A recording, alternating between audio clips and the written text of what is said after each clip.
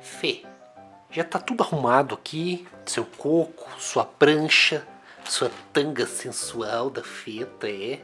Mas como é que a gente vai pra praia com uma unha desse tamanho? Como é que vai usar uma tanga bonita dessa aqui, ó, com umas unhona dessa? Hein? O que, que adianta? Meu investimento aqui em vão.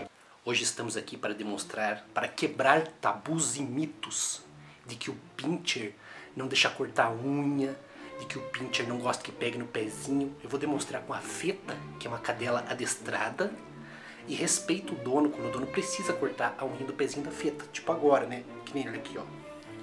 Se eu quiser eu corto essa, eu corto essa aqui. Mas o local mais fácil de cortar é o pezinho. feta, a cadela que quebra o coco, mas não arrebenta, sapucaia. Meni, pede um petisquinho pra feta.